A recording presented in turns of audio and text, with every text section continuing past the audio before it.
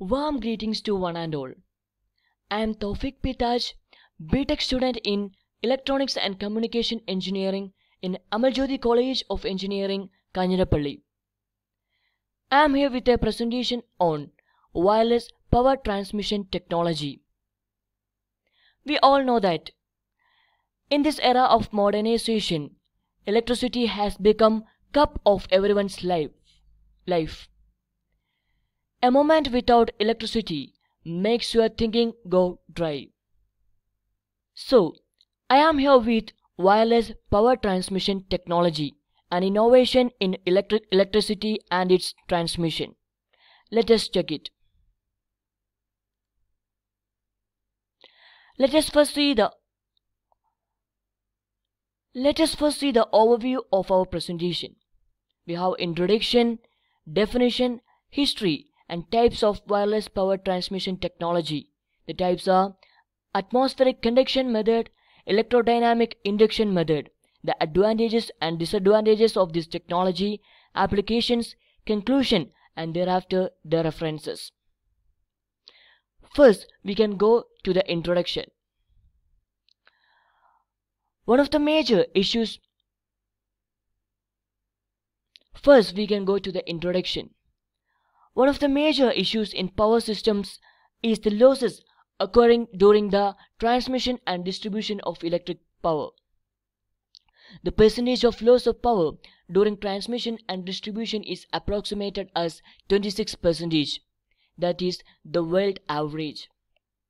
The main reasons for power loss during transmission and distribution is the resistance of wires used in grid.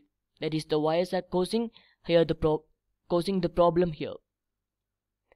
According to the World Resources Institute, short-termed WRI, India's electrical electricity grid has the highest transmission and distribution losses in the world, a whopping 27 to 40 percentage, that is greater than the world average. Tesla has proposed methods of transmission of electricity using electromagnetic induction. And in introduction, let me say our country's situation. The loss of electricity greater than the world average is terrifying. 27 to 40 percentage of electricity generated is losing. What is the reason behind it? The wires used in grid. This is the reason. Being world's fourth largest economy and being world's upcoming country with technological aspects and manpower resources. The country is not able to reduce this loss. It is a fatal that the country is not able to reduce this reduce this problem and find a solution. And I hope that the people and the techno technocrats in the country would check upon the issue seriously. And I am suggesting here wireless transmission wireless power transmission technology to the problem as a solution. So I am suggesting here wireless power transmission technology as a solution to the problem. The electricity in India is generated using hydroelectric projects, thermal power plants which uses coal and the nuclear power plants which uses nuclear elements such as thorium. The coal and thorium as well water are important natural resources and we are using and depleting these resources for this generation of electricity. And a 40 percentage of electricity lost from this means it's terrifying. It's terrifying to the economical stability of our nation too.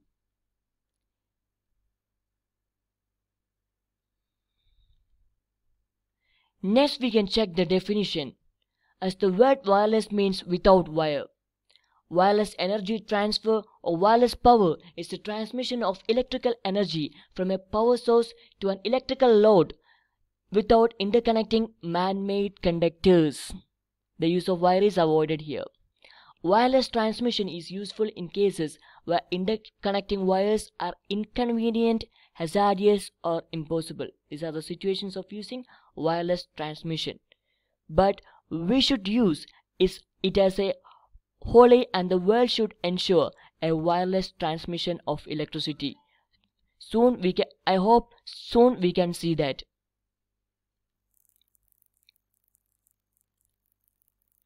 Next we can check the history of wireless transmission. Sir Nikola Tesla was the first one to propose and research the idea of wireless transmission in 1899. Since then, many scholars and scientists have been working to make his dream a reality.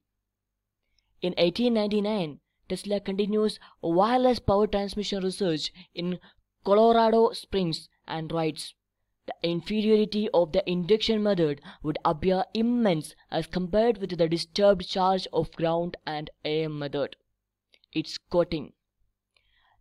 In 1961, William C. Brown publishes an article exploring possibilities of microwave power transmission. Recently, the Massachusetts Institute of Technology in America, the top leading technological university in the world, had a research on microwave power transmission that is MPT. In 2009, Sony shows a wireless electrodynamics induction power TV set 60 watt power over 50 centimeter. Let's now check the methods of wireless transmission of power.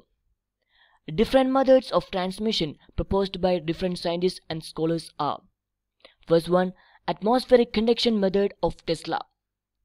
Second one, the electromag the electrode second one, the electrodynamic induction method. There are two subtypes for this, microwave method and laser method. Let us first check the atmospheric conduction method. In 1899, Sir Nikola Tesla and Heinrich Hertz powered a fluorescent lamp, keeping it 25 miles away from source without using wire. Wireless power transmission experiments at Wardenclyffe high frequency current of a Tesla coil could light lamps filled with gas like neon. In this method, a closed circuit is made using transmitter ionized path between upper surface atmosphere and transmitter. Second ionized path connecting the receiver. The circuit back to the transmitter is connected through the earth. I think the idea is of clear. The ionized path between the upper atmosphere and transmitter provides a second ionized path connecting the receiver. This will transmit the power. And it was successful when Sir Nikolai and Heinrich do with the fluorescent lamp, keeping it 25 miles away from the source without using a wire. High potential is made at transmitter and receiver end as well. A high potential transmitter transmits an electromotive impulse through the ionized path to the upper atmosphere where it ionizes the air and this air between the transmitter and receiver would conduct like a neon tube. I think the idea is clear how without a conducting or a how without a conducting medium or a conductor the electricity will pass. The ionized path is provided in air. Thus the use of transmitter transmits an electromotive impulse that creates an ionized path to the upper atmosphere where it ionizes the air. This provides the medium for electricity to pass. The limitations of atmospheric conduction method. First one, it is economically challenging. The periodic changes in atmospheric condition, maintaining high tower potential every time. These are the limitations of atmospheric conduction method. Next we can check upon electrodynamic induction method. We bring electromag we bring electromagnetic radiation into practice which uses far field technique in order to achieve range into kilos which includes two techniques. First one is lasers and the second one is microwave. Let's first check the laser method. The laser transmission a laser is highly directional coherent, not dispersed for very long, but gets attenuated when it propagates through atmosphere. Simple receiver is required, photovoltaic cell, and it is cost efficient too. We all have used laser and we know the path of laser and all those steps we know. And we need to check how this work in wireless transmission of power. Here we can see. Laser method. In the case of electromagnetic radiation closer to visible region of spectrum, power can be transmitted by converting electricity into a laser beam that is then pointed at a solar cell receiver. This mechanism is generally known as power beaming because the power is beamed at a receiver that can convert it to usable electrical energy. Here, the power, the electricity is converted into, into a laser beam that is then pointed at a polar, that is then pointed at a solar receiver. That's what happening here. In the block, the block diagram also you can see the current is converted to the current is converted to laser optical fiber and the, the current is converted to laser optical fiber transformer then to the current is pointed. Next we can see the microwave method. Power transmission via radio waves can be made more directional, allowing longer distance power beaming with shorter wavelengths of electromagnetic radiation, typically in the microwave range. A rectenna may be used to convert the microwave energy back into electricity. Rectenna conversion efficiencies exceeding 95% have been realized. Power beaming using microwaves have been proposed for the transmission of energy from orbiting solar power satellites to Earth. The principle of evanescent wave coupling extends the principle of electromagnetic induction. Here the principle of electromagnetic induction is used. And the Transmission via radio waves can be made more directional. It allows longer distance power beaming with shorter wavelengths of electromagnetic radiation. That's what happening here and a rectenna is used and it receives the electrical electricity and it it receives the microwave energy and it converts it into the electricity. Rectenna is a receiving antenna too. The applications of wireless power transmission technology it is used in near field energy transfer, electric automobile charging, static and moving. Nowadays, many electrical vehicles are arriving in the market and it, it, it is an inno innovation in the charging of those vehicles as we have seen many faults in the charging of these vehicles and it will be a solution to it. And later on, it will be a big solution to the environmental pollution as these electrical vehicles become famous and it becomes more and more widely used. The consumer electronics, industrial purposes, hash environment, far field energy transfer, those are solar power satellites, energy to remote areas can work broadcast energy globally in future. These are the application where it comes. Can broadcast energy globally in future there what it means the innovation in the electricity and its transmission so check to quote that word it will be one of the innovation that's soon going to happen in this century itself I suppose and I hope.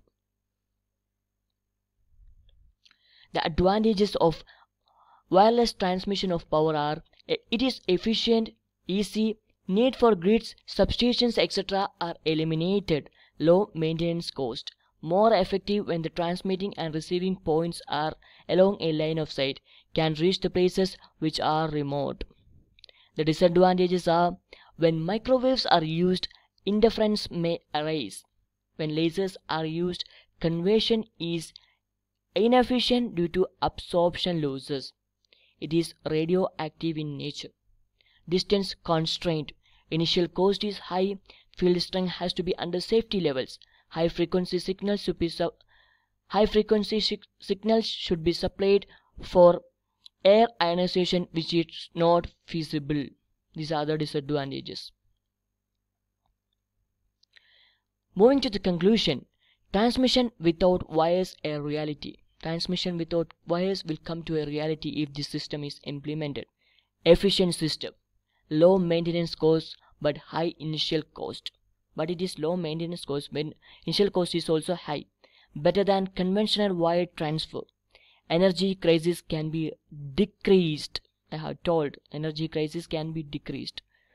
Low loss in near future world will be completely wireless. The tech the world is after wireless such as mobile phones. Many equipments are nowadays wireless and the power transmission will also be wireless and in this conclusion i hope the technology will be implemented soon in the world in our country soon and let the world develop with this innovative technology and the references used are used are this you can uh, refer here if any doubts are there and before i concluding I ask you to stay healthy, stay home. Let us fight against corona in this period. Thank you.